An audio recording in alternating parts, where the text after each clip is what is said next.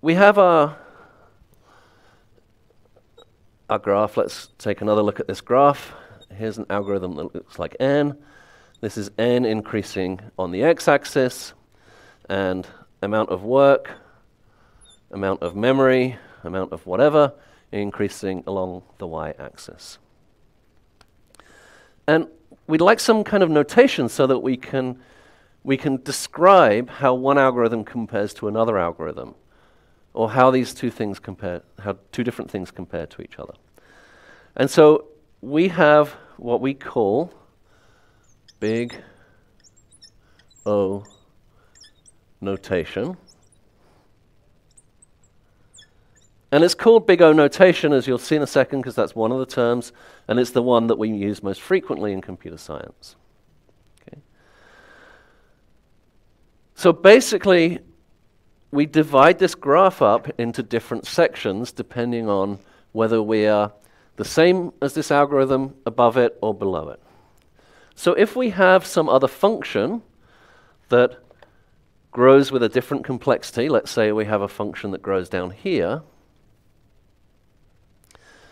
what that means is that as n is increasing, it's taking us less time to do the work.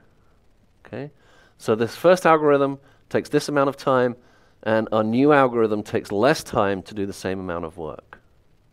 So this means it's a faster algorithm. So algorithms down here are faster, and algorithms up here are slower.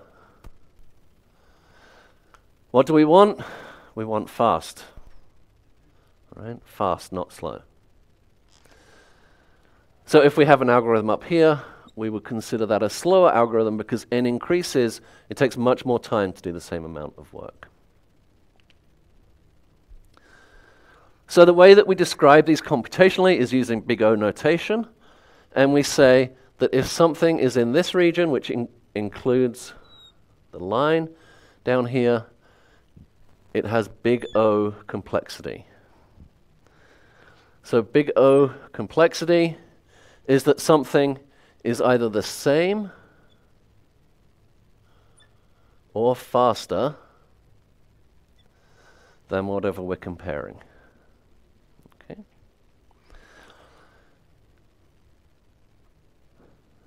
If something's exactly the same as our line, then we call that theta complexity. So theta means it's growing at the same rate. And I'll show you what I mean by an example, with an example of this in just a second. And if something's slower, then we say it has big omega complexity.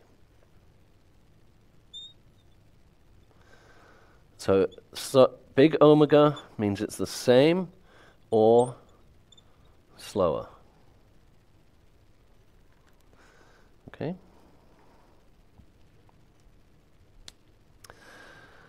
There's two more. So big O can be up to and including the line. Big omega can be above and including the line. And then there are two more terms. So confusingly, there's little o, and little o means faster, but not the same. So if an algorithm has complexity less than something else, but not exactly the sa- but could not possibly be the same as, then it has little o complexity. And similarly, if there's complexity not including the line, but slower, then we say that has big omega complexity. Uh, sorry, little omega complexity.